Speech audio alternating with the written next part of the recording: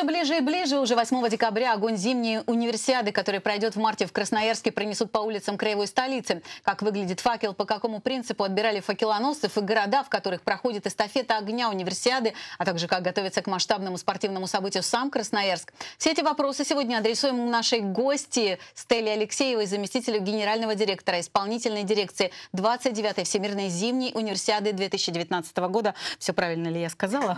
Вроде бы все правильно. Здравствуйте, Стелла Юрьевна. Рада вас видеть у нас в Барнауле. Не замерзли? Нет, нормально. Все нормально хорошо, привыкли спасибо. уже. Как жительница Красноярска, вы уже к этому да. привыкли, к такой погоде. Но вы пришли не одна, вы пришли с факелом в руках. Он такой да. достаточно большой, не тяжелый. Он не тяжелый, мы уже с ним сроднились, мы его любим. Более того, этот факел разрабатывался у нас в Красноярске. Это разработка нашего дизайнерского агентства, и его же сделали на нашем красноярском заводе. Мы очень сильно гордимся этим. Угу. Тем, что это наш факел, это сибирский факел, это красноярский факел. А как вообще выбирали форму для факела? Она какая-то разная? Вот который факел был на Олимпиаде у нас, и вот этот факел, они похожи? Нет, они абсолютно не похожи. У нас были определенные требования, которые мы предъявляли к нашему факелу. Мы проводим студенческие игры, и наш факел должен был олицетворять молодость, юность, задор, ветер, огонь. И вот это вот все, что я перечислила, оно все воплощено в этом факеле. Я так думаю, что у нас это получилось. Ну да, факел достаточно красивый, мне кажется. А сколько вообще их всего изготовили? Их изготовили не так много, их всего лишь 400 штук, и вот с ними мы ездим по всем городам проведения эстафеты. Угу. Все-таки погода в наших сибирских городах не самая комфортная. Я так понимаю, вы почувствовали это на себе, уже немножечко приболели. Все ли предусмотрено, чтобы факел не погас?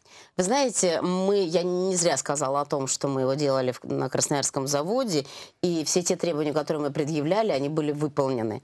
Мы этот факел испытывали и ветром, и проливным дождем, и в морозильной камере, и везде он работал, и нигде не было сбоя. Но и это вы до того, как началась безусловно, эстафета? Безусловно, безусловно. Все эти испытания проводились на заводе, все, все эти испытания проводились в присутствии комиссии определенной, и все, все наши условия были выполнены. Более того, а, морозом мы его проверили, ну, не очень большим, но в Иркутске, проливным дождем и ветром 25 метров в секунду мы его проверили в Калининграде, и он нас не подвел.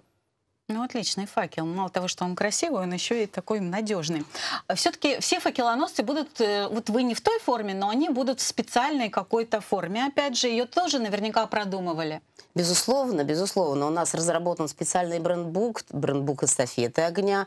Он, да, перекликается с брендбуком э, универсиады, но это наш брендбук, это та форма, которую носят не только наши факелоносцы, но и хранители огня. Они тоже будут одеты в специальную форму, чтобы их можно было отличить, чтобы можно было понимать, что эти люди принимают участие в проведении этого мероприятия, обеспечивают безопасность этого мероприятия.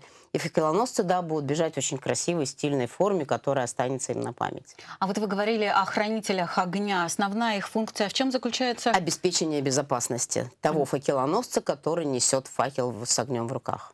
Угу. Я очень хорошо помню, как несли эстафету Олимпийского огня по угу. нашему городу. Конечно, многие хотели принять участие в этом мероприятии, но честь выпала далеко не всем. Как отбирали факелоносцев для эстафеты универсиады? Знаете, перед проведением эстафеты мы специально разработали положение о конкурсе факелоносцев.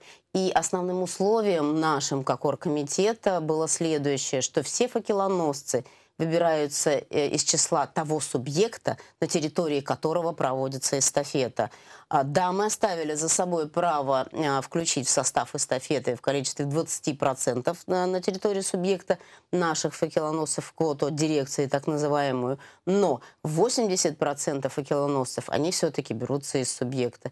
У нас был объявлен конкурс, была создана здесь конкурсная комиссия, так же, как, собственно, в остальных субъектах. Эта конкурсная комиссия отбирала факелоносцев, которым предъявлялись определенные требования. А То главные это должны, какие требования? Это должны быть люди, которые имеют спортивные достижения, достижения в области культуры, достижения в области общественной деятельности, ну и в том числе знаковые, узнаваемые люди. Возраст не имел значения? Э, ограничение единственное с 18 лет. Угу. А до скольки не имело значения? Нет, нет. Понятно. Барнаул все-таки недалеко не первый город, где проходит эстафета. Вы приехали из Иркутска. А Все ли везде проходило без заминок? И какой этап эстафеты вам запомнился больше всего и почему на данный момент?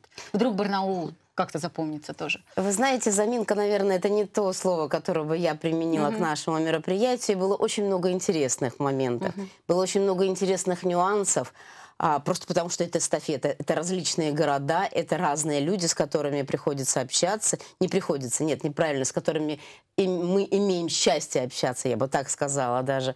А, э, и везде все по-разному. И более того, чем больше люди хотят провести это мероприятие, тем больше у них горят, горят глаза, и тем интереснее проводятся мероприятия в, в, в таких регионах.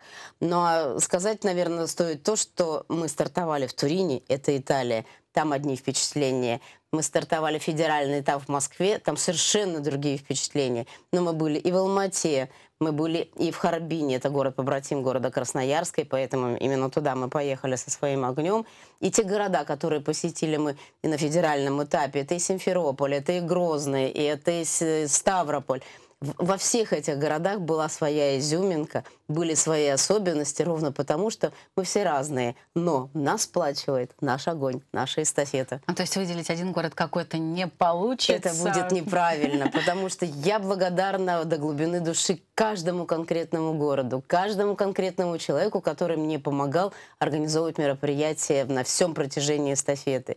Я благодарна Питеру, Москве, Ставрополю, Симферополю, всем-всем тем городам, в которых мы уже отработали, и Иркутску. И я думаю, что не меньшую благодарность, а мы ее уже испытываем, мы будем испытывать к городу Барнаулу, потому что здесь мы не можем себе позволить провести неподобающее мероприятие. А все ли готово вообще уже в Барнауле? Вы проконтролировали? Успели уже? Я думаю, да. Сегодня у нас прошел промежуточный оргкомитет. Завтра у нас будет еще один выезд по маршруту, который будет проходить эстафета.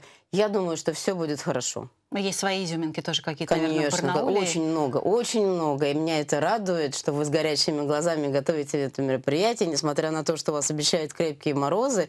Будет очень много промежуточных площадок, на которых будут встречать наших фекелоносов. Будет очень интересно. И немножечко хотелось бы поговорить о городе проведения универсиады Красноярске, откуда вы, собственно, где вы сейчас живете, не откуда вы родом, а где сейчас живете. Мы знаем, что обычно города, где проходят столь масштабные спортивные события, меняются коренным образом. Насколько изменился Красноярск? На мой взгляд, Красноярск очень сильно изменился. Он преобразился, я бы так сказал. Ну, вот посмотрите, построено очень много спортивных объектов, построены медицинские объекты, а, построена деревня универсиады на кампусе Сибирского федерального университета. То есть это то место, где будут дальше жить наши студенты мероприятие пройдет, а кампус останется. Это будет деревня для студентов. Там построена супер современная поликлиника для студентов, которая, да, в период мероприятия будет обслуживать спортсменов. Там построен многофункциональный центр. У нас построены развязки транспортные. У нас э, проводится благоустройство города до сих пор, и город, безусловно, меняется в лучшую сторону. Я приглашаю вас приехать посмотреть на это. Спасибо большое. Конечно, я думаю, каждый мечтает, не у каждого получится. Но мы будем, наверное, мечтать, чтобы и Барнаул все-таки когда-то провел, ну, не Олимпиаду, это, наверное, нереально, а вот, может быть, универсиаду принялось, чтобы город преобразился. Спасибо вам большое, Стелла Юрьевна. Чтобы все у вас прошло удачно, чтобы эстафета наша тоже осталась у вас как самое такое приятное впечатление. И здоровья вам! Спасибо большое. А я напоминаю, что гостем нашей студии сегодня была Стелла Алексеева, заместитель генерального директора исполнительной дирекции 29-й Всемирной зимней универсиады 2019 года.